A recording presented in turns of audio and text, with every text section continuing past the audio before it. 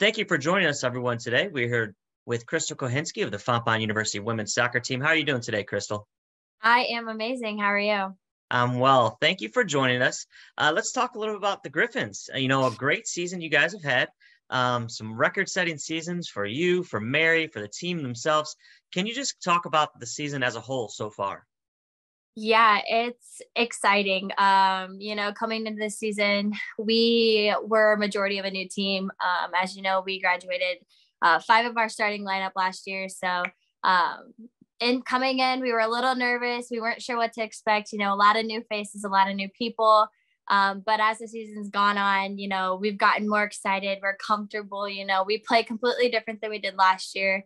Um, but you know, it's exciting to see us go three and zero oh in conference, and of course, we always want that the repeat in the conference tournament, of course. But um, it's just been an amazing season. The girls are great, the team's great, Dylan's great. You know, it's been a fun season uh, trying to learn how to adapt to all of our new people. So um, they've been a big part of our success. Yeah, and as you mentioned, uh, you lost, you know, five players, five stars from last year. So you've been kind of the focus for the team offensively that hasn't slowed you down. Uh, double digit goals, double digit assists. Um, what do you like better? Do you like scoring a goal? I mean, obviously that would be the easy answer. Or do you like maybe setting up somebody for a goal? Yeah, so it's gonna be kind of weird, but I love assisting.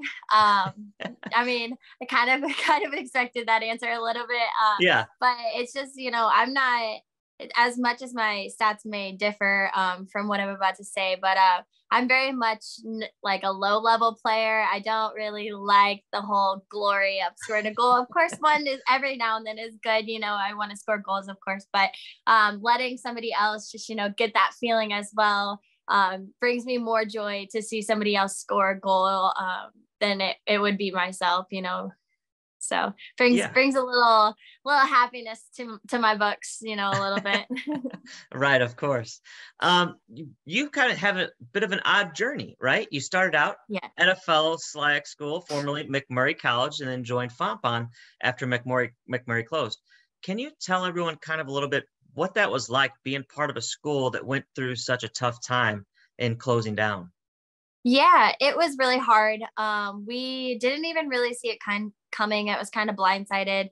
Um, we really thought we were going to come back after spring break and then didn't. Um, so having that transition from MacMurray to Fontbonne, you know, in school terms wise, they kind of resemble each other a little bit, which is kind of kind of why I was drawn to Fontbonne so well.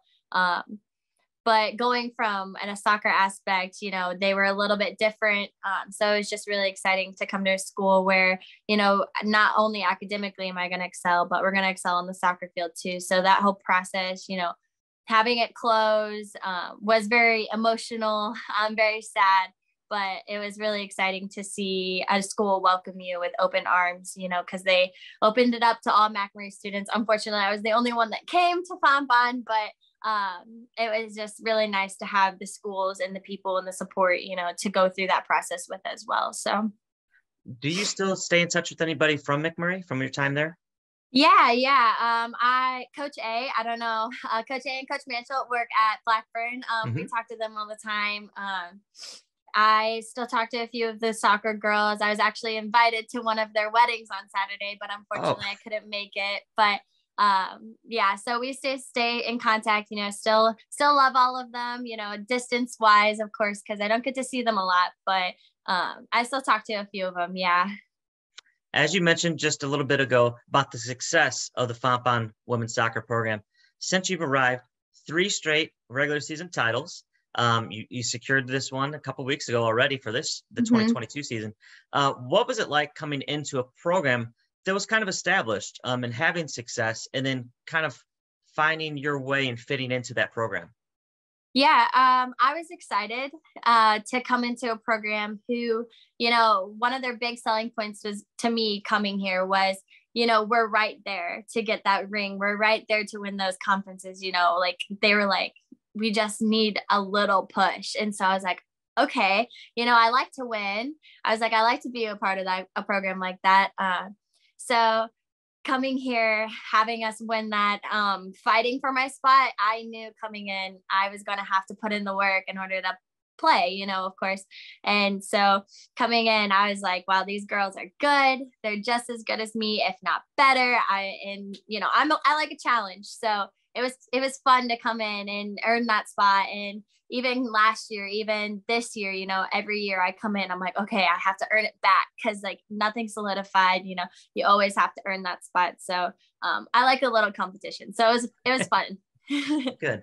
Couple more questions for you. Uh, you're an exercise major, uh, exercise science major. What mm-hmm. would you like to do after graduation? Yeah, so I'm actually going to take a semester off. So this spring, not by choice, of course, uh, I will be putting in the work, uh, making some money, and then starting in the spring of uh, May of 23, I will be going to SLU and I will be getting my master's in athletic training. Okay, great. Yes. What what led what led you into wanting to be an athletic trainer? It was so it's gonna sound a little funny, um, but I tore my ACL uh, my junior year of high school, and then going through two surgeries, my ACL, my meniscus, uh, being in PT all the time. I was like, this seems like something I kind of want to do. Uh, getting to school, realizing that organic chemistry was something I was going to have to take to get to PT. I said, absolutely not.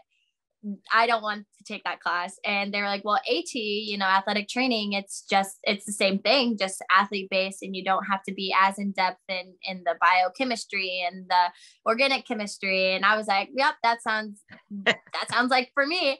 And the more I get into it, the more I study it, you know, the more internships hours I get in, you know, it just seems like that's, that's what I was made to do. So um, little funny route, but I got here and that's kind of why, you know, I'm just really excited. Yeah, sounds good.